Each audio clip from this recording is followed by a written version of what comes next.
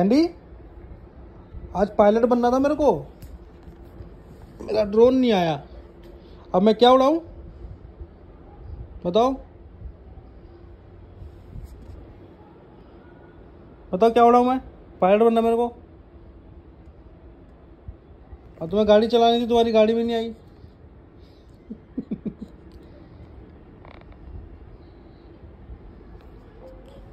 हे हे